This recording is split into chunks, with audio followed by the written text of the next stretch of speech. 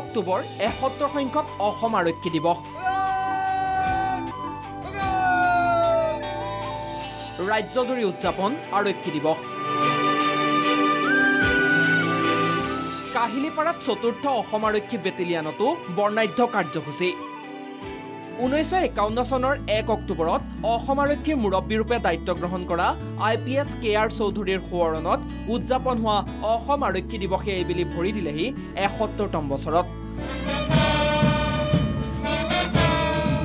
কাহিলীপাৰাৰ চতুৰ্থ অসম আৰক্ষী বেটেলিয়ানত ৰাজ্যপাল জগদীশ মুখী আৰু অসম আৰক্ষীৰ সঞ্চালক প্ৰধান ভাস্কৰ জ্যোতি মহন্তৰ উপস্থিতিত উদযাপন কৰা হ'ল অসম আৰক্ষী দিৱসৰ বিশেষ কাৰ্যসূচী।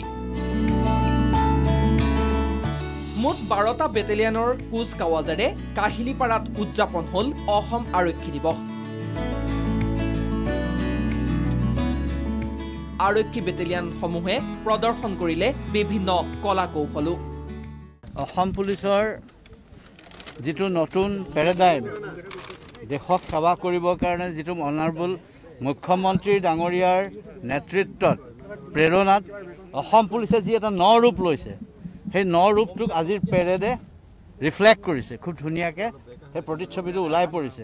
আপোনালোকে মন কৰিছে কি সুন্দৰ পেৰেড এটা লেভেল অফ নেশ্যনেল ষ্টেণ্ডাৰ্ড গতিকে ডাঙৰ পেৰেড কৰিছোঁ কিন্তু যদিও আমি ক'ভিড প্ৰট'কলৰ কাৰণে কিছুমান নিয়ম মানি লৈছোঁ। আনহাতে টুইটাৰ যোগে মুখ্যমন্ত্ৰী ডক্টৰ হিমন্ত বিশ্ব শৰ্মা আৰু কেন্দ্ৰীয় মন্ত্ৰী সৰ্বানন্দ সোণোৱালেও ধন্যবাদ জ্ঞাপন কৰে অসম আৰক্ষীৰ বীৰ জোৱানসকলক। ফেচবুক যোগে এটি ভিডিঅ'ও শ্বেয়াৰ কৰে মুখ্যমন্ত্ৰীয়ে। আনফালে অসম আৰক্ষী দিৱস উপলক্ষে শোণিতপুৰত কুসুমটোলাত দ্বাদশ অসম আৰক্ষী বাহিনীৰ উদ্যোগত আয়োজন কৰা হয় মাৰাথন দৌৰ প্ৰতিযোগিতা। দুই শতাধিক প্ৰতিযোগীয়ে অংশগ্ৰহণ কৰা অনুষ্ঠানত উপস্থিত থাকে তেজপুৰ চিকিৎসা মহাবিদ্যালয়ৰ অধ্যক্ষ মাধৱ ৰাজবংশীও। নগাঁৱত অসম আৰক্ষী দিৱস উপলক্ষে ৰক্তদান শিবিৰ। বঙাইগাঁৱতো অসম আৰক্ষী দিৱসৰ বৰ্ণাঢ্য কাৰ্যসূচী।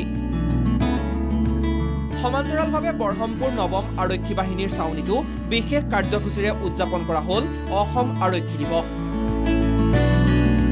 বাহিনীটোৰ দ্বিতীয় অধিনায়ক মইদুল ইছলামৰ লগতে বহুকেইজন জোৱানৰ সাহসিকতাৰ বাবে প্ৰদান কৰা হয় বিশেষ পদক।